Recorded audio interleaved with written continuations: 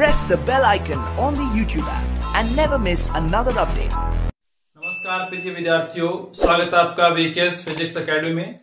आज हम कक्षा 10 का lecture number 11 lecture number 11 chapter है अपना इलेक्ट्रिक करंट विद्युत धारा, और टॉपिक है अपना विद्युत शक्ति इलेक्ट्रिक पावर क्या होती है।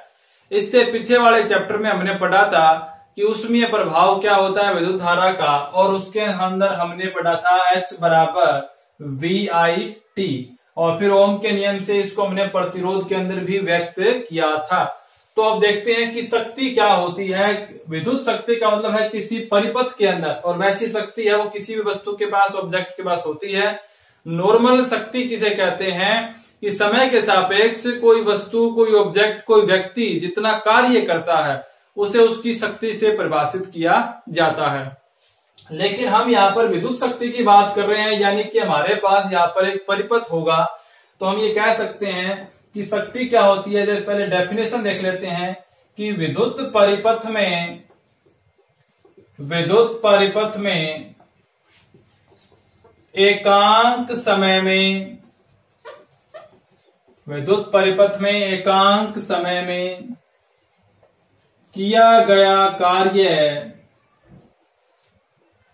शक्ति के तुल्य होता है, या उसे शक्ति कहते हैं। एकांक समय में किया गया कार्य शक्ति के तुल्य होता है। कब? जब उसमें क्या की जाए? धारा प्रवाहित की जाए। तो यानी धारा के पदों में भी बताएँगे और कार्य के पदों में भी बताएँगे। तो सीधा फॉर्मूला होता है शक्ति का, शक्ति बराबर कार्य बटे समय। कार्य बटे समय। शक्ति को P से डिनोट करते हैं, बड़े P से, कार्य को W से और समय को करते हैं T से।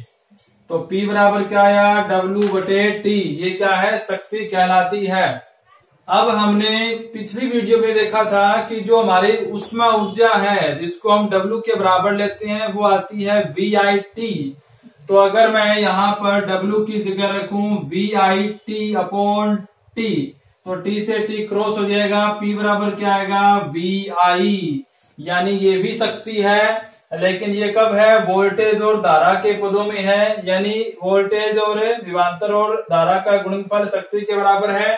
यहाँ पर एकांक समय में किया गया कार्य शक्ति के बराबर है। यहाँ से हम क्या बनाएँगे? इनके मात्रक भी बनाएँगे। अब हम इसको क्या कर सकते हैं? प्रतिरोध के पदों में एक फॉर्मूला और बढ़ा सकते हैं। ओम का नियम याद करो, क्या था? वी समानुपाती आई वी बराबर आर आई और यहाँ से देखें आप वी की जगह वैल्यू रखू मैं? आर आई तो ये वाली वैल्यू यहाँ रखूँगा तो पी बराबर क्या फॉर्मूला बन जाएगा? वी की जगह रखूँगा? आर आई तो आर आई यहाँ पे गुणा में यार एक जाएगी कितनी हो जाएगी? आर आई स्क्र या आई स्क्र आर तो तीन फॉर्मूले हो गए अपने पास शक्ति के। अब देखें इसका मात्रक क्या होता है? मात्रक की अगर हम बात करें तो मात्रक कार्य का मात्रक क्या होता है? जूल होता है। कार्य का मात्रक क्या होता है? जूल, जिसे जे से लिखा जाता है, और समय का मात्रक होता है सेकंड जिसे एस से लिखा जाता है, यानी जूल बटे सेकंड किसका मात्रक होता है? शक्ति का मात्रक होता है। इस जूल बटे सेकंड को वाट से भी लिखा जाता है, वाट। प्रचलित मात्रक क्या है? वाट है। ये वाट है, वो एक छोटा मात्रक है। इसके बारे में और चर्चा हम करेंगे। उससे पहले देखें कि इस फॉर्मूले से शक्ति का मात्रक क्या आएगा? यहाँ से आएगा शक्ति बराबर V यहाँ पे विवांतर है। विवांतर का मात्रक क्या होता है? वोल्ट होता है इंटू आई यानी धारा। इसका मतलब क्या होता है? एम्पियर। तो यहाँ से मात्र क्या आ जाएगा? शक्ति का वोल्ट गुणा एम्पियर। ये आ जाएँगे यहाँ से मात्रक। अब देखो कि जो अपना शक्ति का मात्रक आया, वाट, बराबर क्या है? इसको किस प्रकार से लिखेंगे? जूल बटे सेकंड के बराबर होता है वाट। और दूसरा मात्रक क्या आया? दूसरा मात्रक आया वाट बराबर वोल्ट इंटू एम्पियर। ये आ गया। अब ये जो वाट है, ये छोटा मात्रक होता है शक्ति का। इसे बोलते हैं छोटा मात्रक होता है तो व्यवहारिक जीवन में हम इसके बड़े मात्रकों का प्रयोग करते हैं। जैसे किलो में मैंने एक दिन बताया था आपको पहले भी वीडियो में किलो में कितने होते हैं? दस की तीन होते हैं। मेगा में कितने होते हैं? दस की छह। इसे बोलते हैं किलो। इसके आगे ग्राम लगेगा तो किलोग्राम हो जाएगा मीटर लगेगा तो किलोमीटर बन जाएगा।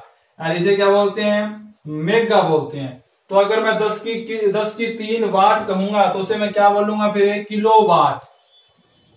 Kilo watt. यानी एक किलो वाट में कितने वाट हो जाएँगे? दस की तीन वाट हो जाएँगे। यानी एक किलो वाट वाट को डब्ल्यू से डिनोट करते हैं।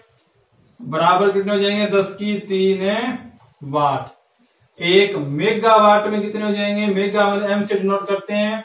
दस की छह वाट। इसी तरह से एक बहुत ही इंपॉर्टेंट अपने पास एक और होता है, जिसे कहते हैं अश्व शक्ति अश्व शक्ति ये भी मात्रक है।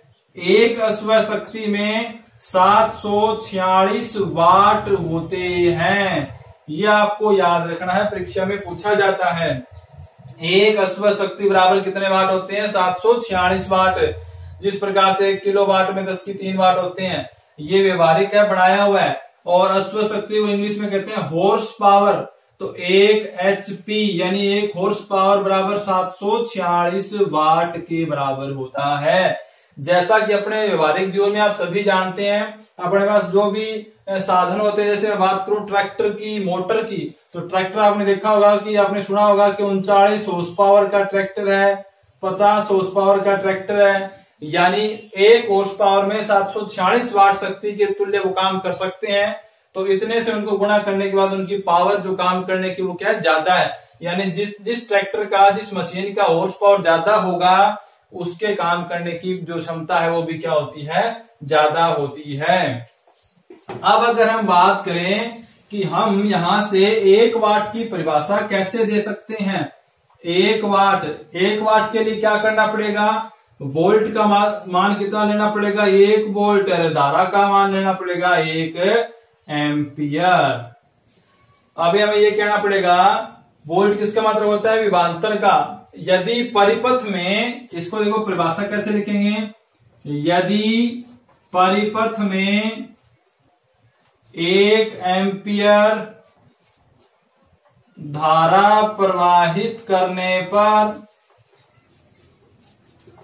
एक एम्पियर धारा प्रवाहित करने पर उत्पन्न विभांतर एक वोल्ट हो तो शक्ति कितनी हो जाएगी? एक वाट हो जाएगी। शक्ति कितनी होगी? एक वाट होगी। इस प्रकार से आप इसकी परिभाषा दे सकते हैं। तो ये हो गया शक्ति। अब देखो अपने से एक फॉर्मूला वापस लेके चलते हैं, अपने वापस फॉर्मूले पे आते हैं। मुख्य फॉर्मूला क्या था? P बराबर डब्ल्यू अपॉन टी था। ये तो शक्ति मैंने आपको बता दी। अब W बराबर अपने उसमें ऊर्जा के बारे में पढ़ा था, W बराबर होता है एल पर अवरोध लगाता है। उस समय जो कार्य है, वो ऊर्जा बन जाता है। और H बराबर हमने कितना मान निकाला था? वी आई टी निकाला था।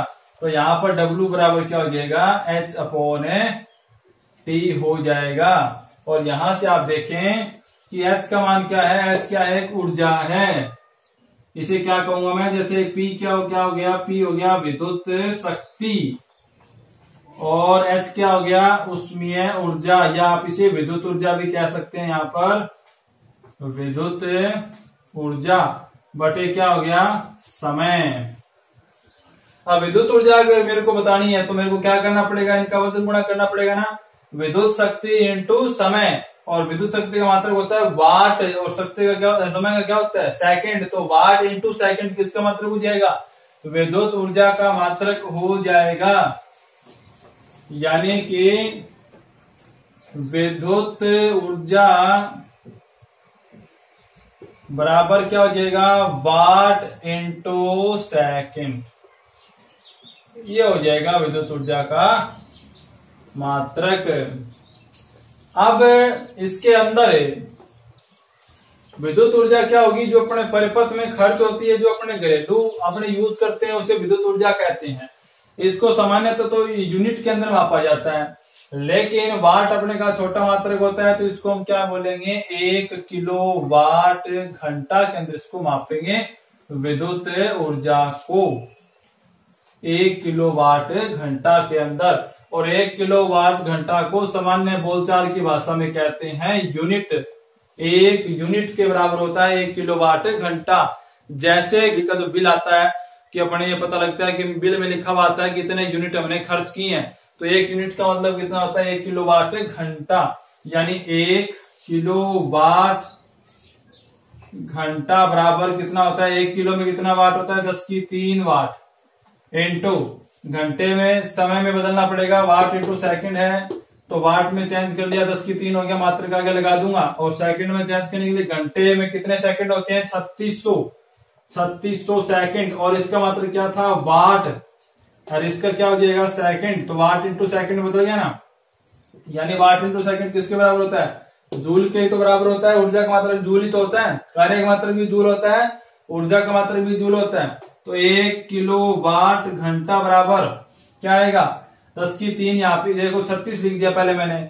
दस की दो तो ये बन जाएँगे, सौ सौ है ये छत्तीस इंटू सो लिख सकते हैं, यानी दस की दो, और दस की तीन कितने हुए? दस की पाँच। वाट इंटू क्या हुए? सेकंड हुए। और वाट इंटू सेकंड क्या होता है? जूल के बराबर होता है।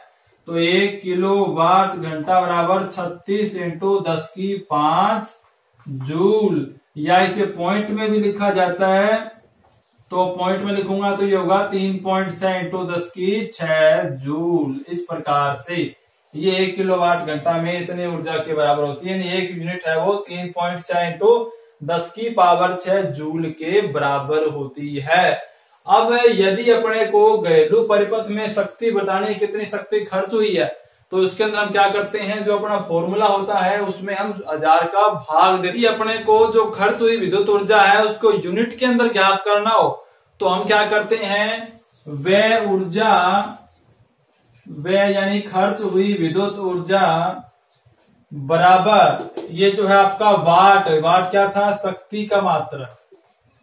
इंटू सेकंड सेकंड किसका मात्रक है? समय का। बटे में क्या करते हैं? हज़ार का भाग देंगे। जैसे अपने इसको न्यूमेरिकल जब मैं करवाऊँगा आपको तो और अच्छे से समझ में आ जाएगा कि किस प्रकार से अपने को लेना होता है। वाट यानी जैसे कोई भी अपने पास, जैसे घरों में उपकरण होते हैं, जैसे बल्ब की बात करें तो उस पर लिखा होता है चालीस वाट का बल्ब है, साठ वाट का बल्ब है। तो कोई बल्ब यहाँ जो सेकंड जो है ना, यहाँ पे इसकी जगह न्यूमेरिकल निकालते समय घंटे का यूज़ करेंगे हम, समय घंटे में लेंगे। क्योंकि सेकंड की तो हम बात नहीं कर सकते, कोई बल्ब है, उसको हम कहेंगे वो दस घंटे से जल रहा है, वो पाँच घंटे से जल रहा है, वो एक घंटे से लगातार जल रहा है या कोई पंखा चल रहा है, ये सब बातें घंटे के अंदर आएँगी तो विद्युत ऊर्जा को खर्च जो अपने को बताना है, वो घंटे के अंदर बताना होता है मात्रक तो सेकंड में होता है। जब हम एसआई की बात करते हैं, जूल बटे सेकंड के बराबर होता है शक्ति। तो यहाँ पे हज़ार का भाग दिया जाएगा, वाट जो उसकी शक्ति है बल्लभ है, पंखा है, कितने वाट का है, कितने घंटे जलता है इस प्रकार से हज़ार का भाग देके हम उसमें खर्च हुई ऊर्जा का मान पे करते